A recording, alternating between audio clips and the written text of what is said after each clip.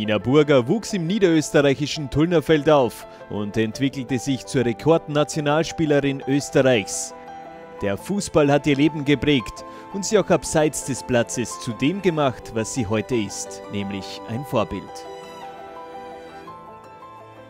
In 30, 40 Jahren würde ich meinen Enkelkindern ähm, hoffentlich mit einem Cocktail in der Hand, äh, liegend äh, im Liegestuhl im Garten erzählen, dass ich einfach eine wirklich geile Karriere, Fußballkarriere gehabt habe.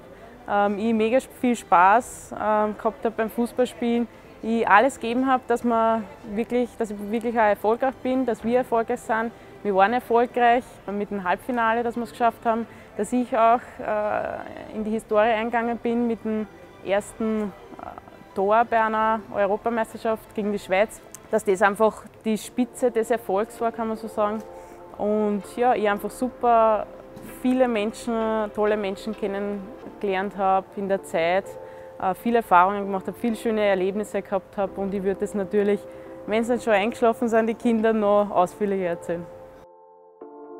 Nina hat früh mit dem Fußball begonnen und dabei schon früh gelernt, sich durchzusetzen.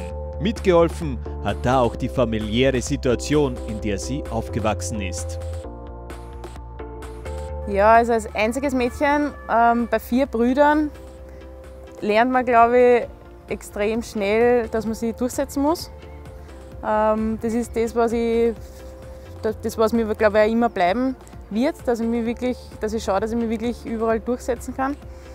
Ähm, hat vielleicht nicht immer funktioniert, gerade in der Familie, aber im Prinzip äh, mir ist gut gegangen. Ich habe jetzt nicht, ich, jetzt eher im Nachhinein ist es dann so, dass die so ein bisschen eine Aufpasserrolle teilweise haben.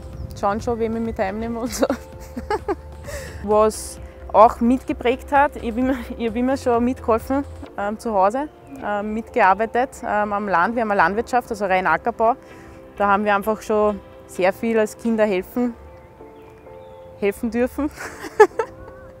Aber es hat für mich passt. Also ich war immer sehr, äh, auch da, immer voll, vollster Einsatz natürlich. Meine Eltern haben mich natürlich gefördert, weil sie uns damals, wie wir jung waren, wirklich überall hingebracht haben, hingeführt haben dabei waren bei den Spielen. Vor allem meine Mama war ähm, früher immer sehr, war eigentlich bei jedem Spiel dabei.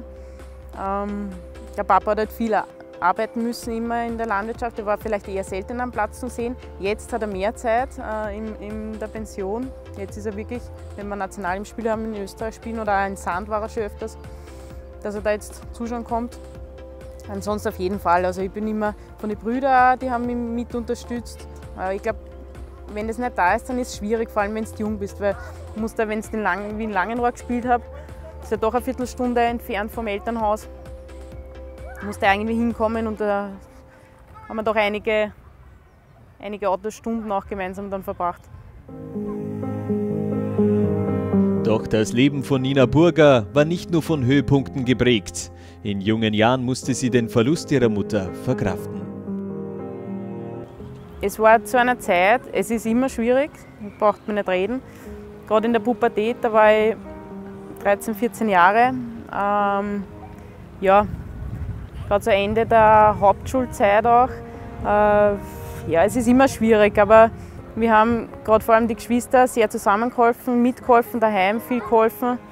Papa der hat nicht irgendwie mm, großartig auf die Arbeit verzichten müssen. Das heißt, er hat schon sehr viel weitergearbeitet. Wir haben, ähm, wir haben halt geschaut, dass wir im Haus sehr viel zusammenhelfen und, und ja, so hat es funktioniert. Auch rundherum die Familie hat uns unterstützt. War auch deshalb das Tor bei der Euro besonders?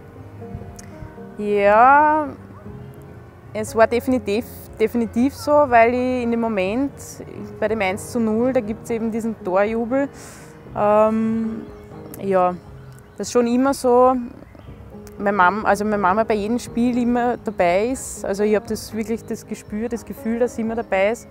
Und das hat für mich, das hat sich so ergeben, dass ich das mache. Ich weiß nicht, warum mir das eingeschossen ist in dem Moment, aber es war für mich einfach, ja, einfach so Dankbarkeit. Ja. Mein Plan ist auf jeden Fall, ich, ich will Kinder haben.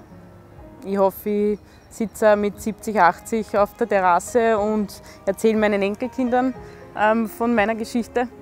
Ähm, also definitiv, ich, ich hätte gern Kinder. Ähm, das kann man halt nie so richtig planen, aber, aber es soll schon in die Richtung gehen. Und ich würde die dann natürlich bei allem und all, also bei, bei alles, was sie machen wollen, unterstützen.